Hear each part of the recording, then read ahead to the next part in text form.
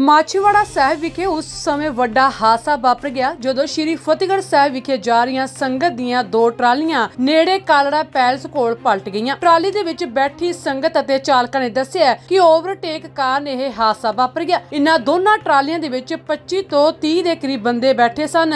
ਸੰਗਤ ਦੇ ਮਾਮੂਲੀ ਸੱਟਾਂ ਲੱਗੀਆਂ ਨੇ। ਜਾਨੀ ਨੁਕਸਾਨ ਹੋਣ ਤੋਂ ਵੀ ਬਚਾ ਰਹਿ ਗਿਆ।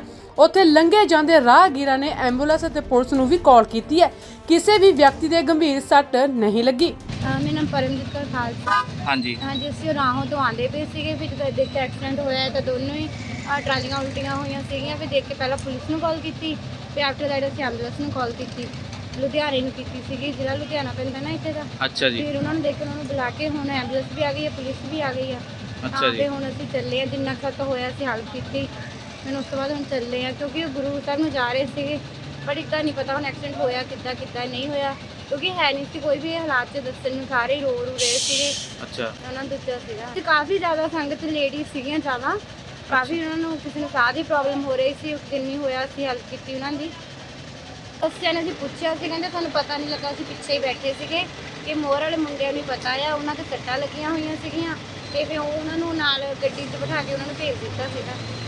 ਪਤਾ ਲੱਗਿਆ ਕਿ ਜੋ ਟਰੈਕਟਰ ਚਲਾ ਰਿਹਾ ਸੀ ਉਸ ਦੀ ਉਮਰ ਵੀ 18 ਸਾਲ ਦੱਸੀ ਜਾ ਰਹੀ ਹੈ। ਟਰੈਕਟਰਾਂ ਦੀ ਸਪੀਡ ਜ਼ਿਆਦਾ ਹੋਣ ਕਰਕੇ ਜਦੋਂ ਓਵਰਟੇਕ ਕਰ ਰਿਹਾ ਸੀ ਤਾਂ ਦੂਸਰਾ ਲੜਕਾ ਘਬਰਾ ਗਿਆ ਜਿਸ ਕਾਰਨ ਇਹ ਹਾਦਸਾ ਵਾਪਰ ਗਿਆ। ਨਾਮ ਸੁਖਮੰਦਰ ਸਿੰਘ ਢੋਂਡਵਾਲ ਤੋਂ ਟਰੈਕਟਰ ਆ ਰਿਹਾ ਸੀਗਾ। ਅੱਛਾ ਜੀ। ਯਾਤਰਾ ਜਾ ਰਹੀ ਫਤਿਹਗੜ੍ਹ ਸਾਹਿਬ। ਅੱਛਾ ਜੀ। ਤੇ ਉਹ ਟਰੈਕਟਰ ਆ ਰਿਹਾ ਸੀ ਪਿੱਛੋਂ ਸਾਡੇ ਨਾਲ ਗੜੀ ਫਾਇਲ ਪਿੰਡ ਤੋਂ। ਅੱਛਾ। ਤੇ ਉਹ ਇਹ ਟਰੈਕਟਰ ਜਾਂਦਾ ਪਿਆ ਰੋਡ ਤੇ ਉਹ ਕ੍ਰੋਸ ਕਰਨ ਲੱਗੇ ਨੇ।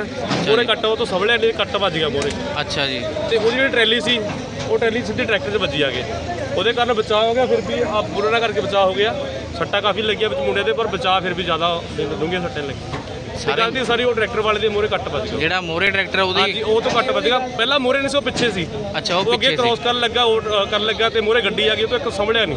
15 16 ਸਾਲ ਦਾ ਹੀ ਮੁੰਡਾ। ਤੇ ਮੁੰਡਾ ਵੀ ਹਲਕੀ ਉਮਰ ਦਾ ਸੀਗਾ। 15 16 ਸਾਲ ਦਾ ਤੇ ਉਹ ਮੁੰਡਾ ਤੋਂ ਟਰੈਕਟਰ ਨਹੀਂ ਸੰਭਲਿਆ। ਮਾਲਕ ਤਾਂ ਨਹੀਂ ਸਹੀ ਉਮਰ ਦਾ 18 ਸਾਲ ਦੀ ਉਮਰ ਦਾ ਹੋਏਗੀ ਪਰ ਫਿਰ ਵੀ ਚਲੋ।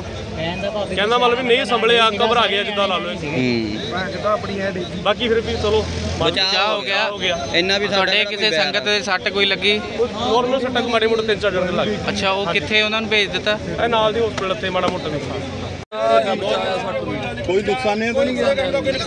ਠੀਕ ਹੈ। ਇਹ ਹੋਇਆ ਓਵਰਟੇਕ ਕਰਨ ਵੇਲੇ ਹੀ ਹੋਇਆ। ਵੀ ਟਰਾਲੀਆਂ ਦਾ ਕੋਈ ਰੇਸ ਲਗਾ ਰਹੇ ਸੀ ਜਾਂ ਕੀ ਮਾਮਲਾ ਓਵਰਟੇਕ ਕਰਨ ਲੱਗੇ ਤਾਂ ਸੰਭਲਿਆ ਇਹ ਨਵਾਂ ਡਰਾਈਵਰ ਸੀ ਮੁੰਡਾ? ਨਹੀਂ ਨਹੀਂ ਐਸੇ ਹੀ ਉਹਨੇ ਬਚਾ ਕਰਿਆ ਨਾ। ਉਹ ਟਰੈਕਟਰ ਕਰਕੇ। ਬਚਾ ਕਰ ਰਿਹਾ ਕਿੰਨੀ ਕੁ ਉਮਰ ਦਾ ਸੀਗਾ ਇਹ ਮੁੰਡਾ? ਕਿਹੜਾ ਮੁੰਡਾ ਜਿਹੜਾ ਚਲਾਉਂਦਾ ਸੀ ਆਪਣਾ ਮੁੰਡਾ ਦਾ ਹੋਣਾ 22 23 ਸਾਲ 22 23 ਸਾਲ ਕਿਨੇ ਉਹਨੂੰ ਕਦੇ ਕੱਟ ਮਾਰਤਾ ਨਾਲੇ ਵੀ ਵਿਚਾਰੇ ਹੁਣ ਰਗੜੇ ਗਏ। ਅੱਛਾ ਕੱਟ ਇਹਨਾਂ ਨੇ ਮਾਰਿਆ? ਉਹਨਾਂ ਨੇ ਕੱਟ ਮਾਰਿਆ ਪਾਲੇ ਟਰੈਕਟਰ ਵਾਲਿਆਂ ਨੇ। ਇਹ ਕਿੱਥੋਂ ਆ ਰਹੇ ਸੀ ਤੁਸੀਂ? ਇਹ ਆਪਣਾ ਟਰੈਕ ਪਿੰਡ ਆ ਵੀਰੇ ਢੋਲਣ ਵਾਲਾ ਅੱਛਾ ਜੀ। ਨਾਲ ਦੇ ਮੁੰਡੇ। ਹੁਣੇ ਹੀ ਤਾਂ ਇਹ ਘੰਟਾ ਹੋਇਆ ਤੁਰੇ ਆ ਉੱਥੇ ਯਾਰ। ਢੋਲਣ ਜਾਣਾ ਕਿੱਥੇ ਸੀਗਾ? ਫਤਿਹਗੜ੍ਹ ਸਾਹਿਬ। ਅੱਛਾ ਕਿੰਨੀ ਕੁ ਸੰਗਤ ਸੀ ਇਹ ਚ?